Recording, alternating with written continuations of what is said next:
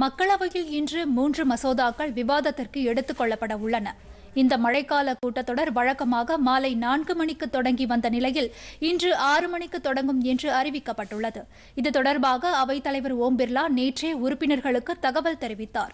இந்நிலையில் பெரிய துறைமுக ஆணையங்கள் மசோதா இனப்பெருக்க உதவி தொழில்நுட்ப ஒழுங்குமுறை சட்டத்திருத்த மசோதா காரணிகள் ஒழுங்குமுறை சட்டத்திருத்த மசோதா ஆகிய மசோதாக்கள் இன்று விவாதத்திற்கு எடுத்துக் கொள்ளப்படுகின்றன.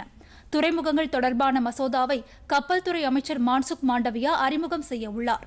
இந்த மசோதா பெரிய துறைமுகங்களின் நிர்வாகம் மற்றும் செயல்பாடுகளை ஒழுங்குமுறைப்படுத்த வகை செய்கிறது. இனப்பெருக்க உதவி தொழில்நுட்ப ஒழுங்குமுறை சட்டத்திருத்த மசோதாவை மத்திய சுகாதாரத்துறை அமைச்சர் ஹர்ஷ்வர்தன் தாக்கல் செய்ய உள்ளார். செயற்கை கருத்தரித்தல் மையங்களின் செயல்பாடுகள் மற்றும் அவற்றை ஒழுங்குமுறைப்படுத்த இந்த திருத்த மசோதா வகை செய்கிறது. சிறு குறு நடுத்தர தொழில் நிறுவனங்கள் கடன் பெறுவதை எளிமைப்படுத்துதல் தொடர்பான காரணிகள் சட்ட திருத்த மசோதாவை நிதியமைச்சர் நிர்மலா சீதாராமன் மக்களவையில் தாக்கல் செய்கிறார். இந்த மசோதா நிறைவேற்றப்படுவதன் மூலம் சிறு குறு நடுத்தர நிறுவனங்கள் தங்களது மூலதனத்தை பெருக்கி நிதி ஆதாரங்களை அதிகரித்துக் கொள்ள வாய்ப்பு ஏற்படும்.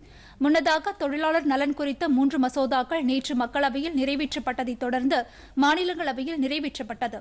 தொழிலாளர் தொழிலாளர்களுக்கான ஊதியம் மற்றும் சமூக பாதுகாப்பு உகந்த சூழ்நிலை ஆகியவற்றை உறுதி செய்யும் வகையில் இச்சட்டங்களில் வகை செய்யப்பட்டுள்ளது.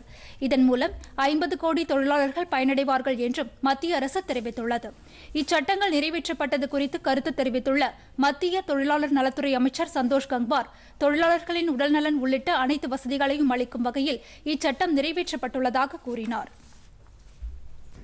பொதிகை செய்திகளை யூடியூபில் தமிழ் நியூஸ் தூர்தர்ஷன் என்ற சேனலிலும் முகநூலில் டிடி பொதிகை நியூஸ் என்ற பக்கத்திலும் ட்விட்டரில் டிடி நியூஸ் சென்னை என்ற பக்கத்திலும் இன்ஸ்டாகிராமில் டிடி பொதிகை நியூஸ் என்ற பக்கத்திலும் காணலாம்.